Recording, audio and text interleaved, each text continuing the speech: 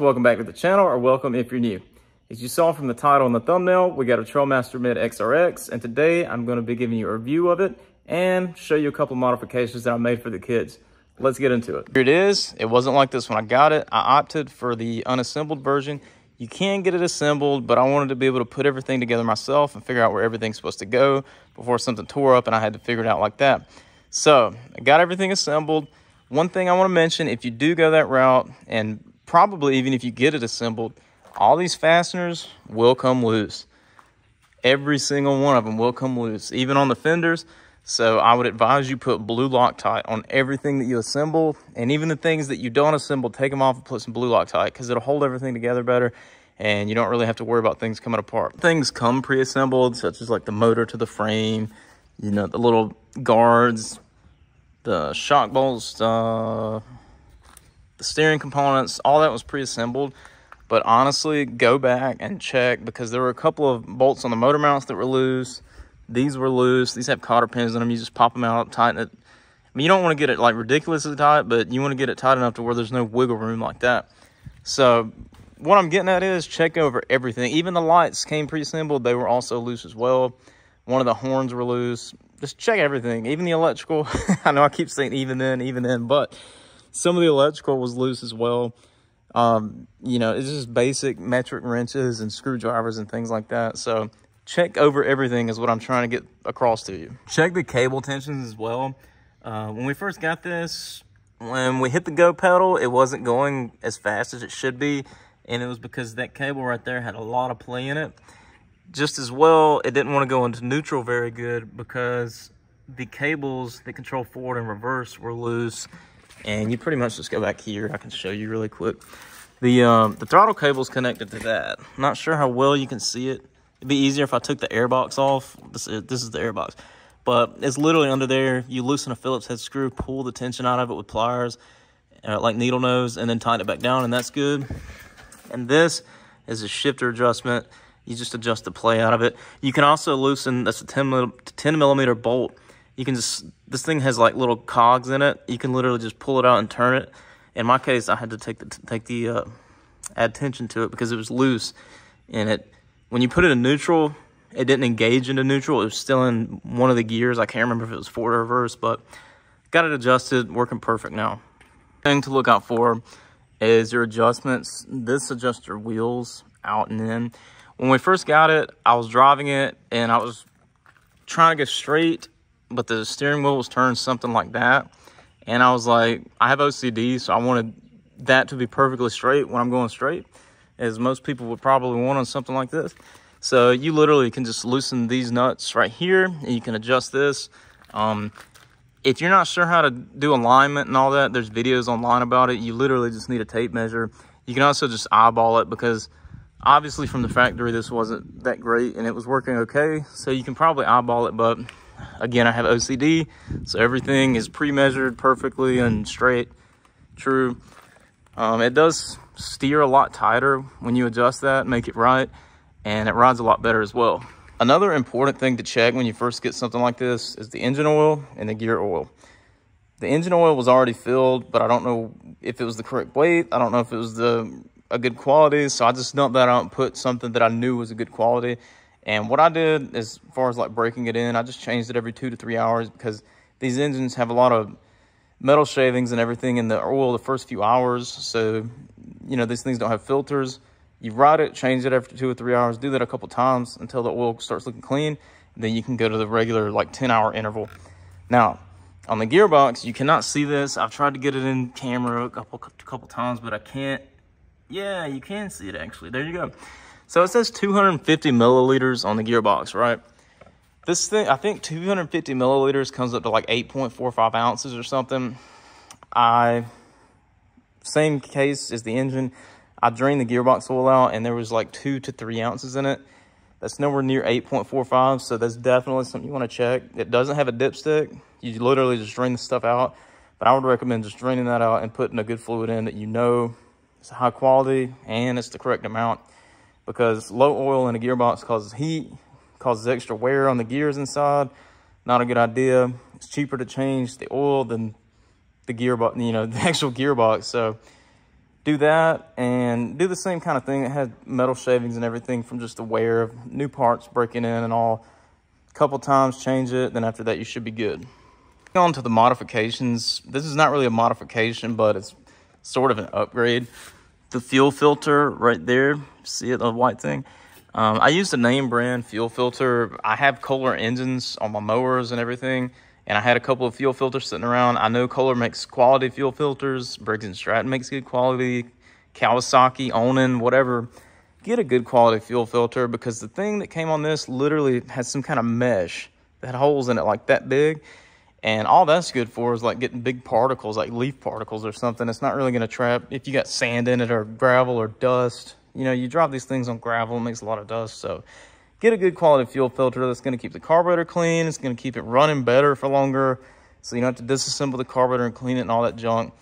Uh, that's just a upgrade that I recommend doing that'll be very worth it in the long run. Since we're talking about maintenance, let me show you how I'm, able to keep up with the maintenance. See the hour meter right there? This thing has a little bit more than 12 and a half, maybe like, maybe has 16 hours or something like that on it now. Because uh, when we got it, the kids drove it for a long time you know, and I had ordered that, but it came in a couple days late because it got lost in the mail or something. Anyways, get an hour meter because it helps you keep up with maintenance on these things and you'll know when you need to change it because changing oil on these engines like this, any kind of unfiltered engine is very important because like I said, they get a bunch of trash floating around in there. There's nothing filtering it out and it's just running through your engine. Change it every 10 hours, drain it, fill it back up, you're good. Same with the gear oil and all that type of stuff and the valve clearances and your spark plugs and your air filter. I do have to blow this air filter out about every five hours or it kind of kind of loses power a little bit. It starts kind of idling funny. Yeah, I just take the air filter off and blow it out, but get an hour meter, definitely worth it.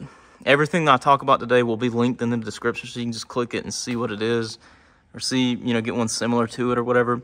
But hour meter is awesome. I put one of these on everything. You'd be surprised how much you use something and not even realize it. It rained for literally two minutes just now and flooded everything out. It was pouring down rain. And it sounds like it's about to rain again. We got a lot of crazy weather going on right now. But anyways, the next thing I added was a radio. Kids like to blast music. I like to blast music. It just makes it more fun to drive and you can drive it for longer periods. And the kids like to pretend it's a real car. And I don't know, radio is pretty cool to have on something like this. So what I did was added that. It's for motorcycles. It's uh, vibration proof, waterproof. Has AM, FM, Bluetooth, micro SD card slot, USB, so you can charge your phone with it. Um, I have it set up to where it only comes on when you turn the key on. It'll get power. Maybe you'll see it flashing. Can you see the uh, 12 clock flashing right there? I set it up like that because I was reading the reviews. People were complaining about it draining the battery. So I just have it set up to when you cut it off, there's no power going to it, so it can't drain the battery. Um, it's pretty loud. It's, like I said, it's made for motorcycles, so it's pretty loud. It does, the sound does kind of die out, or it did, when you're going full speed just because the engine was so loud. And it brings me to the next modification I made. Before I move on to the next modification, I almost forgot, since we were talking about the radio, See that little black bag right there? I have it zip tied just to the frame so it can't move around or whatever. And it is the perfect size to hold your phone or an MP3 player or anything like that. I got that because I was afraid one of the kids were going to have their phone in their pocket or their iPods or whatever music device and it would fall out and they would drive over in this gravel and that would be a very bad day because those things are not cheap so I put that little bag there and it works out just fine. The uh, Your phone or whatever you put in there hangs just perfectly in place. So it's not like bouncing around and none of that. And it protects the phone and they don't have to worry about dropping it. Worked out perfect. It's pouring down rain again, so I slid this thing inside and blew it off. But remember how I was talking about with the radio, if you were going full speed, the engine was just really loud and it was kind of difficult to hear the music. What I did was add a longer pipe to the already existing muffler and I'll explain how I did that. The uh, the muffler has a mesh on it. Most of these mufflers have like little mesh on them. You can just knock that stuff out with some needle nose pliers. This is a three quarter inch NPT barb fitting. And that hole is about the perfect size for three quarter inch NPT. I do have a tap and I did tap the hole, but you can, this metal is softer than this fitting metal is. So you can actually thread it without the need for a tap. And you just have to be very careful and gentle with it. What I did, that's a three quarter NPT barb fitting. And this is 3 eighths black iron pipe. So what I did was I cut the barb off to the point where this 3 eighths pipe fit in there just perfect to where I could just tap it on with a hammer, not beat it on, tap it on with a hammer so it hold in place. And I just welded it in place. Um, so I did that, and if you don't know how, I don't have a pipe bender, but if you can look up how to bend pipe without a bender, you literally just fill this pipe up with sand. You know, you want to pack the sand in there really good, and then you can bend it with pliers or a vise or whatever you've got to bend things with. You can even put it in between something, like put it in between, not on the go-kart, obviously, because you don't want to bend this up, but you can put it in between something and get your bends like that. Um, so I just did this, and wow, I can't believe how much quieter this made it. I knew adding a longer pipe would make it quieter, but it's actually so quiet you can barely hear the exhaust anymore. All you hear is like the valve ticking and the mechanicals of the engine running. Um, and down here, I used this, these parts right here actually came off of the pallet that the go-kart was shipped on. And uh, the nuts even came off of the pallet. This right here is a piece of all thread. So all I used on my stuff was the all thread. Everything else came off the pallet. I did have to get the pipe. I did have to get the uh, three uh, the uh, three quarter inch NPT barb fitting. But I'll, I'll show you how quiet this thing is in a minute.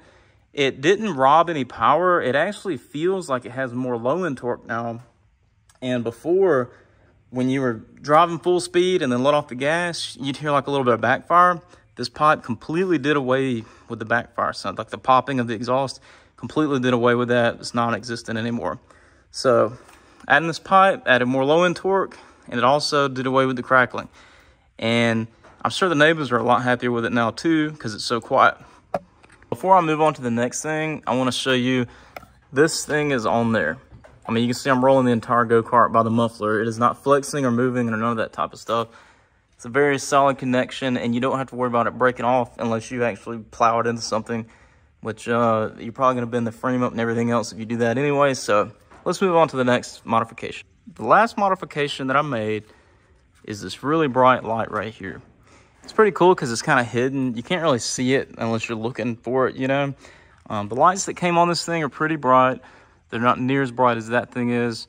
Uh, the kids will ride at night sometimes, or they, especially in the winter times, what I'm thinking about when it starts getting dark at like 5.30 or 6, they can still, you know, once they get out of school, they can still come home and ride if they want to. I, this is the light switch. As you can see, none of the lights came on. I also had this wired up to the key switch so that it doesn't, you know, drain the battery as well. You can see these lights, they're pretty bright. At night, they're a lot brighter than this, but you can see the difference here. That thing literally turns the night into daylight, maybe 25 feet out, maybe 20, 30 feet wide. It makes everything, you know, where you can see it, and it's a lot safer to ride at night than those are. I have those aimed, you know, somewhere right in here, maybe like six feet out. I have both of those centered. And then this is kind of like a floodlight, so it floods the entire area in front of you. It's really cool and it works out great, especially for driving at night. Let me turn this thing off. I don't want to drain the battery.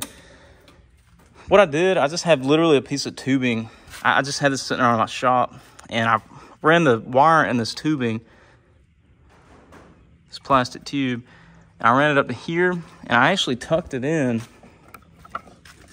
tucked the wire into this uh, canopy that came with the go-kart and I just used butt splices. It's normally better to solder, but you know, butt splices are fine in this case. And again, I used, you see the little clamp that I used there? That came on the pallet. So you need to save parts off the pallet if you can, because you can always use them for something. These uh, clamps came off the pallet, and you can see I literally just bolted it on. And this thing, I moved the entire go-kart.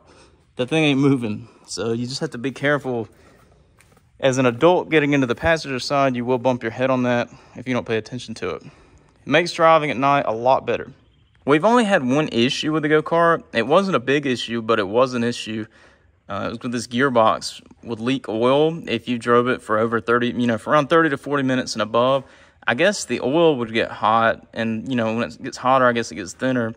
Um, but it was leaking out of this I'm not sure if you can see where my fingers, you see that black seal, the O-ring? I actually added that. Okay, first, I, I noticed the leak. I called the company we bought it from, and they said, well, it's still under warranty. They said, we'll ship you a new gearbox, and you just ship the one back, you know, that's bad or whatever. So I did that. Put the new gearbox on. It was doing the same stuff. So, and, and, they said from the factory that it was missing a seal or O-ring, whatever. Long story short, this one was doing the same thing as the new one. And I'm not sure if this is a common problem or not, but all I did was literally get an O-ring. This thing, the shaft has play. I'm not going to pull on it or whatever because it doesn't have the play anymore. But that O-ring right there, it takes up the play in the shaft and it also seals the leak because that's where it was leaking out it uh it literally moved around an eighth of an inch. You could pull it in and out. And uh, there's a snap ring. So what I did was take this bolt, loosened it, slid this off, and then you can get to the snap ring. You pull the snap ring off, you pull the shaft forward as far as you can, slide the O-ring over it, put the snap ring back on, and the snap ring kind of holds it in place. Then you just reassemble this, and that completely fixes it. I'm not sure why they're not doing that from the factory, but that is an issue, and if you don't stay on top of it, you're gonna leak your oil out, probably gonna fry your gearbox. So it's a minor issue, but if not fixed, it can turn into a major issue, and the gearbox is like 180 bucks. It's a lot of money for something like this, especially, you know, I imagine it wouldn't last too long if you didn't fix that. So it's just something to look out for. I'll show you how quiet this pipe made it. I'm not sure how well you're gonna be able to tell, you know, because of the camera, you're not here in person but I can guarantee it does make it a lot quieter, especially if you live in a neighborhood where people might get frustrated with loud sounds or you have a radio you want to hear. It does make it a lot quieter. So choke it because it's cold. Haven't cranked it up in a couple of days. Unchoke it. I'm not sure if you can tell, but all you can hear is the mechanicals of the engine.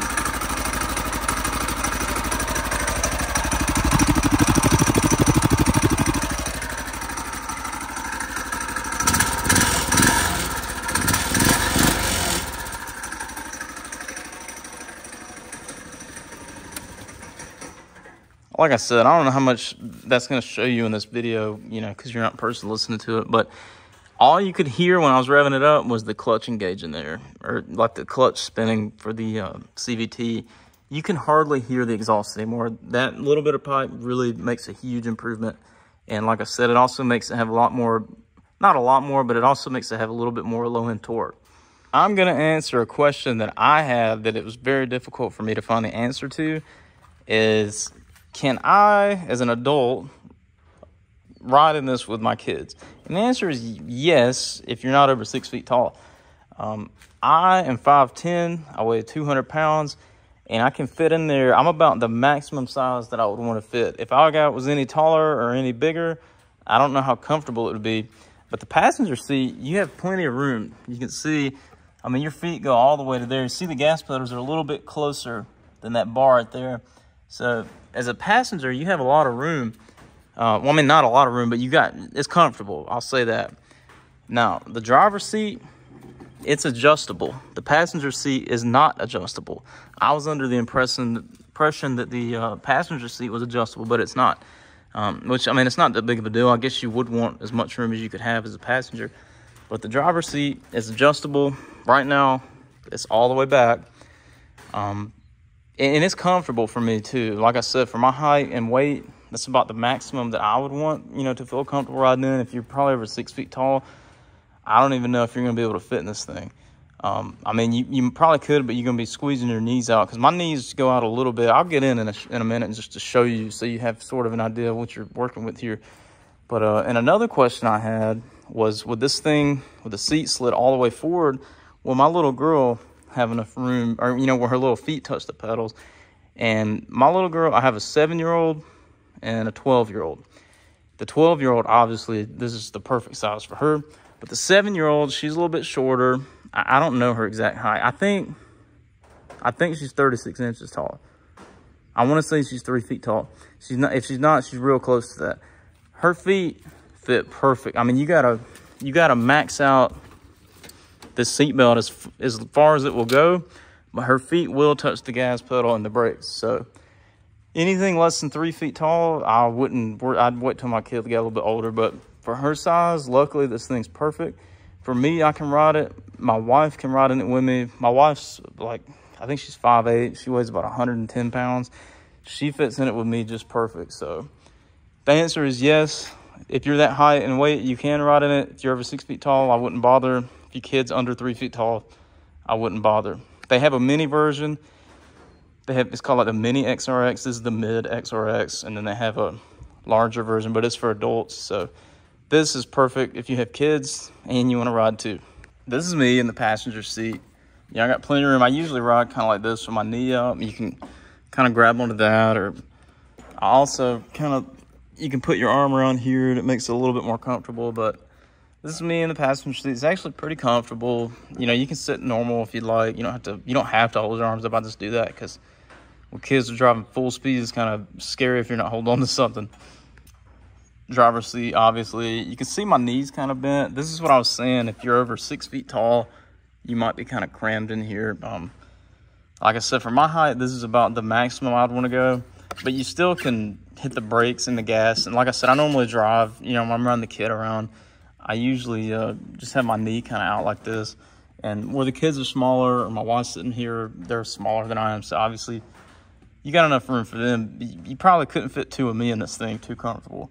But me and a smaller person, it fits just fine. I can reach the pedals just fine. You know, I'm hitting the brake and the gas right there. You got the little shifter. You do kind of have to bend around to get to the shifter, as you can see. But uh, like I said, I just couldn't, I looked online and I couldn't find good information on the size for an adult. I looked a lot and I was getting heights, but I didn't even, I, didn't, I never saw anybody sitting in it that you know, you get you get what I'm saying. If you're looking at this, you know exactly what I'm talking about. So hopefully this helps you out with that. All right, guys, as always, I hope you got something from this video. If you have any questions, feel free to comment and I will get back with you normally within a couple of days. Um, and if I have anything else to add, I might make another video, like as far as like long-term durability, or if I have any issues with it, if anything comes up that I think you need to know. I think I covered most of what I wanted to get across to you guys in this video. But like I said, I might make one in the future. If you have questions or anything like that, just let me know. If you guys enjoyed this, like, comment, subscribe. I will see you in the next one. And before I go, the reason I didn't ride this thing around is because it keeps storming and our driveway is washed out and there's water and mud everywhere. And I don't want to get this thing too filthy and then have to wash it off just for a video. So hope you guys understand. Take care.